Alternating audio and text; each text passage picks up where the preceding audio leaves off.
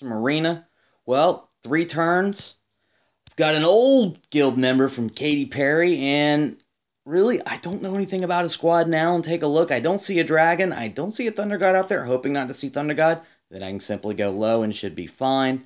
Next up, if I get past him, it's going to be VW Warrior, which well, looks like he runs the same six that I'm running. So I'm going low again and hoping that my pad placement's going to give me the advantage. So here we go.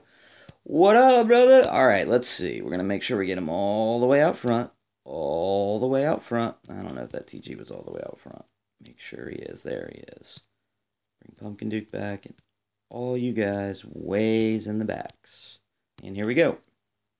All right, he split him, and I should have no problem stopping. And then we're procking, and Reaper's gonna have to take care. Oh yeah, re- watch this Reaper. Reap them bitches. Oh, Spirit Mage gone. Game over. Yeah, baby. Okay. So we're by the first one with one win, and wasn't expecting a split, but that's okay. Now V Warrior, we're gonna run low again. And TG all the way up. Yeah, let's make sure we get them both all the way out front. There we go.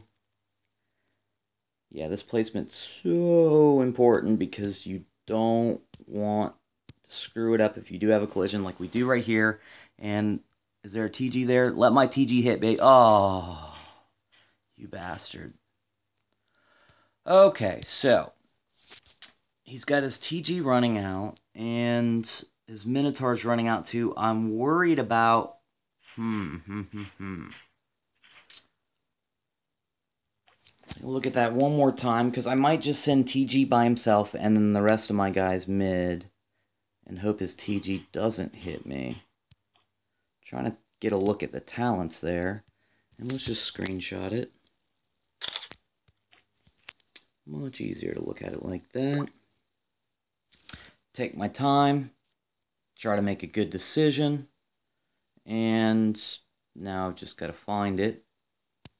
That's it, right? Sure. Yes, okay. Let me zoom in and lots of five of fives. Hmm. Well, what I don't want to happen is them have the exact same lineup and me waste two turns on getting to number 60. But sitting in my five, I don't feel safe right now having Majan Dory there, who I know is active. And again, guys, sorry I can't get to all the messages. So I do want to move. And ah, da, da, da, I don't like sending Thunder God low.